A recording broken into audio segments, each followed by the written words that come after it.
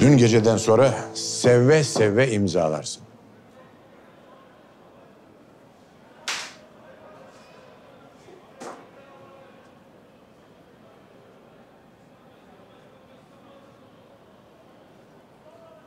Azilname.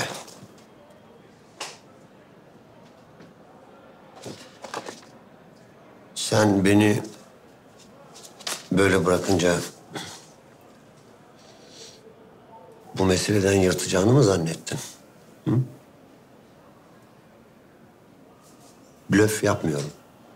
Dün gece biz çocuklarla ilgili bir sorunu konuşmak için bir araya geldik.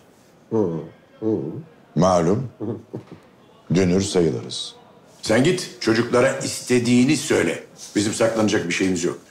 Ama annelerine attığın bu iftiranın hesabını onlara nasıl verirsin bakalım? Yani şimdi anlat. Sen e, hakikaten benim bu meseleyi böyle bırakacağımı falan zannettin mi ya? Yo, elinden geleni yap. Al eline fırçayı, geleceğini karar. Lan bir de sen beni tehdit mi ediyorsun? Ha? O senin işin. Kuyu kazmakta. Sen ne bir herifsin ya? Ya çık dışarı hadi. Savcılığa dilekçe verdim. Başıma gelecek en ufak işte bile seni sorumlu tutacak.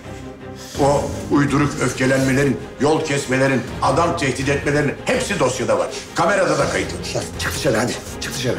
Adem, sen kendi kuyunu kendin kazıyorsun. Ama dikkat et de fazla derin kazma. Çık!